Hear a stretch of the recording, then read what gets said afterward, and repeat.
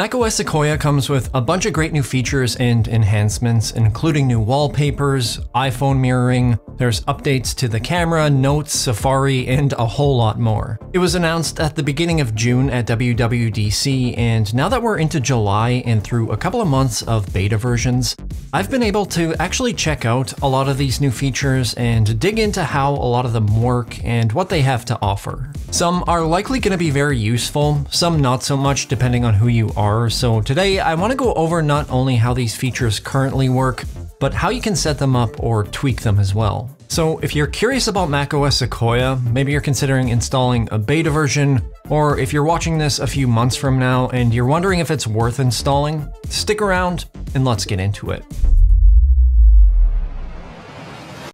Hey everyone, Kyle Erickson here. When Apple showed off macOS Sequoia at WWDC, I'd argue that it was one of the biggest updates in terms of new features that we've seen over the last couple of years. There's, of course, all the new AI stuff. We're likely not going to see a lot of that for quite some time, even after Sequoia is out of beta. And we're going to go over some of what will be showing up pertaining to AI in a bit. But let's just start off with the more tangible things that we can play around with right now. First on the list is my personal favorite in this year's release, iPhone mirroring. This, like the name suggests, lets you look on your phone screen without having to physically pick up your phone and interact with it, which is going to be enormously helpful for a lot of people. Just a note here that not only do you have to be on macOS Sequoia for this to run, you'll also have to have iOS 18 installed, but once you've done that, all you have to do to set this up, if it's not already in your dock, is either go to Launchpad or Spotlight Search and go into iPhone mirroring. From there, you should get this little pop-up that tells you what you're getting yourself into, and you can click continue, and once we've done that, there's a message on the Mac saying that you've gotta unlock your iPhone to use it on this Mac. So I can do that, and that should be all you need to do to see your phone screen on your Mac. From there, you'll get a message asking if you want to authenticate automatically, which I'm gonna do, and after that, you can navigate around on your phone just like you would if it was in your hand. You can go into apps, and everything should behave exactly the same as you'd expect. As you can see, you can move that phone display anywhere on your screen, and you'll notice that you've got a couple little icons at the top. One of these currently doesn't do anything, but the other one opens up my app drawer, which is kind of handy. And you'll notice that while I'm doing this, my iPhone will stay locked, and you can't see anything on its screen. Not only can you navigate through your phone and your apps, but you can also receive all your notifications from your phone to your Mac, which I really like. And to turn that off or on, you can head into settings and under notifications, there's a toggle to allow iPhone notifications. There's still some features that we don't currently have that are coming at a later date, like dragging and dropping files between your iPhone and your Mac that I think are going to be super handy as well, but even as it stands right now, iPhone mirroring is super useful. Moving on to the second thing, which I've wanted to see in macOS natively for years, but was just added, is window snapping. When I moved from Windows to Mac years ago, one thing that I really missed was the ability to snap different windows to different parts of my screen, and for years I used a third-party tool called Magnet to do that. Now I no longer have to bother with that, as you can just natively use window snapping in a variety of different ways. You can do this by just dragging your window to different edges of the screen where an overlay will tell you exactly where the window will go. You can also hold the option key down as you're moving the window to do something similar, or you can hold down or hover on the green sizing button in the upper left to manually select a placement. If you're doing this for the first time, you might notice that we've got a little margin around the window, and maybe you'd rather have that window take up the full area that was previewed. You can adjust this if you head into settings under desktop and dock and go to windows and you can check disable tiled windows have margins. It's not going to add a huge amount of space, but it is nice to have the option nonetheless. With that out of the way, let's say that you want to present one of these windows in a FaceTime or a Zoom call.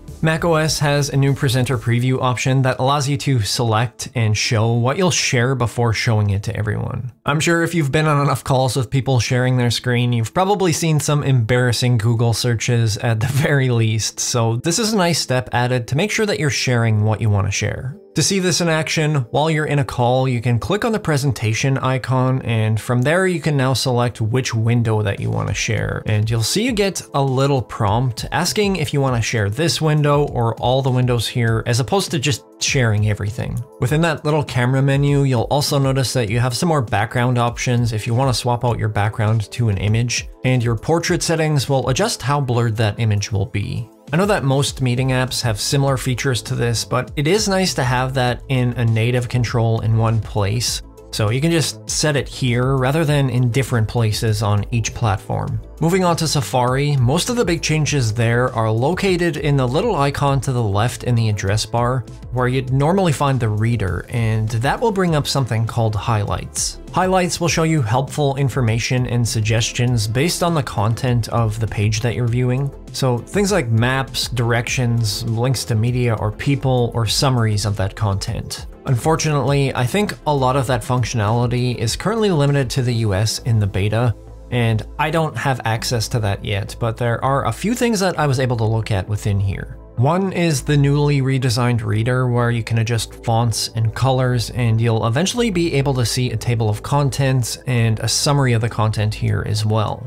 Safari also has more advanced video recognition within the viewer where as a video is detected on the page, you can click on the viewer button to bring it into more of a distraction-free view and the video will automatically move into picture-in-picture -picture if you click away from it. If you've ever used the pop-out feature in Firefox, this feels quite similar to that, but I think all these reader and highlight features will end up being quite valuable. Chances are, regardless of what browser you're using, you probably have some kind of password management, whether that's just keychain access or a third-party manager like 1Password or LastPass. But new this here is a standalone passwords app that is not only available on macOS, but all Apple operating systems, and even on Windows as well. Now, this is still basically keychain access under the hood, it's just been pulled into its own app, and it's a little more user-friendly and viewable. Within here, you can see and manage all your password information, and you can now share it with your family and friends. I'm likely just gonna get rid of my third-party password app when all of this stuff gets out of beta and just go with this, especially since we'll have support on Windows. And the nice thing is, is you can actually import all of your passwords from those third-party tools right inside of here, either when you start the app for the first time, or by going to File and Import Passwords. Another simple yet effective app that I use every day is Notes, where there's also been some notable updates. You can now add voice memos with transcription right inside of your notes, all you need to do is click this little Soundwave icon in the menu bar within a note, and you'll see your voice memo window pop up on the right hand side. And if all you want to do is record a memo, you can just do that and it'll place it within the note. Another feature that's coming, which I don't currently have access to, but I have seen some other folks using, is transcription, where you can click the transcribe button that will be just to the left of the record button, and that should transcribe as it records. I'm assuming that is also currently limited to the USA in beta, but I use these kinds of features quite a bit to be honest. I actually recorded WWDC on my Samsung S24 Ultra while I was watching it and transcribed that, just so I could have a quick, easy to access summary of the event in text for my own use, so really happy to see that show up in here. With that said, probably one of the coolest things in here though is the introduction of math notes. Anytime you start putting math within a note and you put an equal sign following something like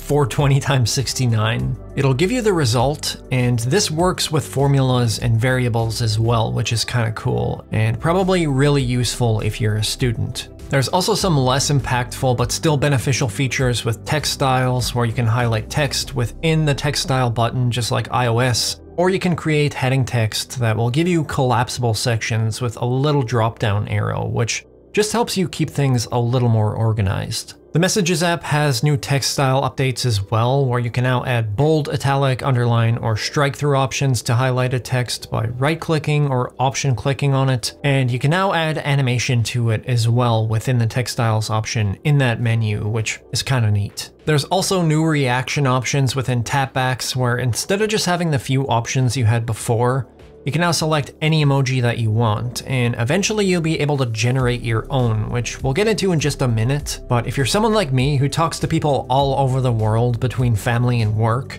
you can now schedule messages in advance by hitting the plus icon beside your message and clicking send later. The last thing that I'd say that most people will probably touch on a semi-regular basis that we can see right now in macOS Sequoia are the new wallpapers, where You've got the standard Sequoia one with a little lock screen animation. I'm actually not really a fan of this one personally, but they also have these retro Mac dynamic wallpapers that I think are super cool and I much prefer. That about does it for the things that we can touch right now, at least for the things I think are worth mentioning, and a lot of the more notable or flashy features that we saw at WWDC won't even show up in beta until the fall. So realistically, you're not going to see those in a production release probably until the end of the year or early next year minimum, but I think they're worth briefly mentioning. Like I said with tapbacks and just with messages in general, you'll now be able to generate your own emojis based on prompts or suggestions or even based on people in your image library. That expands even further with the image playground where there's supposed to be a standalone app for image generation again, where you can use prompts or suggestions to make an image,